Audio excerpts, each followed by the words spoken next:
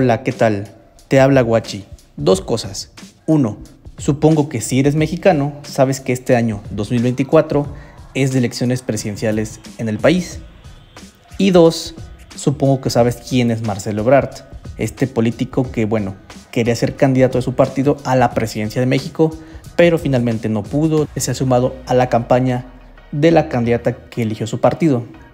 Lo que quiero venir a comentar el día de hoy es que hoy en la mañana Marcelo Ebrard en su cuenta de X, bueno, de Twitter, hizo esta publicación que ha generado muchísima polémica en las últimas horas, la cual es la siguiente.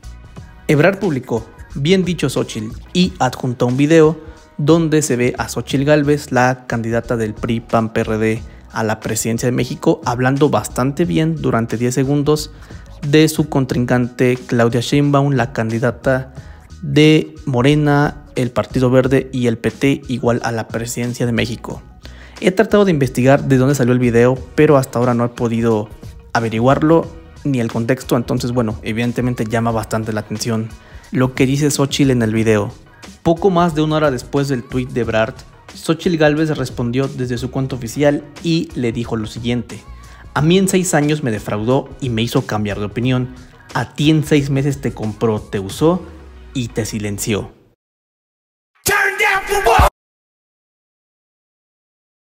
La verdad es que es una respuesta devastadora, pero se sabe que no es ella la que maneja su cuenta de Twitter, sino obviamente alguien de su equipo, su community manager, quien es el, responsable, el autor de esta gran respuesta. Después de recibir tremendo periodicazo en el hocico por parte del manager de Xochitl, Marcelo Ebrard no respondió al tweet, o por lo menos hasta ahora no lo ha hecho, pero seguramente tuvo también bastante con todas las respuestas que le hicieron llegar, evidentemente, pues a verse humillado, ¿no? Pues prácticamente por, por la respuesta que le hizo Xochitl. Aquí estarán viendo, les dejo algunas de las respuestas que le pusieron a, a los tweets tanto de Ebrard como de Xochitl, y evidentemente pues ha sido tendencia todo el día. Y bueno, lo único que me queda decir es que pues es una de esas peleas políticas más que vemos dentro de, pues sí, dentro de las redes sociales, que es donde se ha concentrado pues prácticamente todo el, toda la atención, pero que pues bueno, por un lado no podemos culpar a Ebrard tanto, porque pues no sabía que le iban a responder eso, pero quizá lo mejor hubiera sido ya pues mantener completamente un perfil más discreto y pues centrarse en su, en su puesto que tiene en la campaña de, de Claudio Sheinbaum y por parte de Xochitl, bueno, como digo, pues el community manager es seguramente el que hizo este, este tweet. Inclusive ha puesto otros bastante interesantes, aprovechando diversas situaciones, pues evidentemente para tirar a la, a la competencia, ¿no? A sus contrincantes, que es Morena. Pero bueno, a fin de cuentas todo es un show político mediático y que pues sirve para esto, ¿no? Sabemos cómo es la política mexicana, sabemos cómo es el país, la gente, entonces pues lo único que queda es reírse y pues lamentablemente, pues quizá las cosas no pintan tan bien como para pensar que alguno de los que gane pueda realmente hacer un cambio en el país. Bueno, ya me estoy metiendo en otro tipo de, de cuestiones, pero pues así es como yo veo el panorama. Me gustaría saber qué piensas tú. Y pues bueno, esta situación es un fiel reflejo de todo eso, ¿no?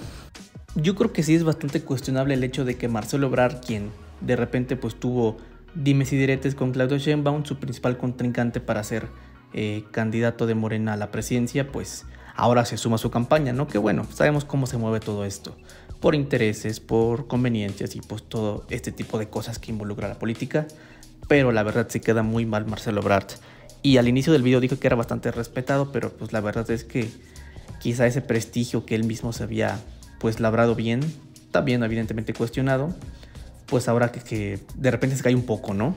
o por lo menos esa es mi sensación, y pues en general también la de la mayoría de la gente, ¿no? Que inclusive muchos lo veían como una muy buena opción por parte de, de Morena como para ser su candidato y pues bueno, finalmente no lo fue.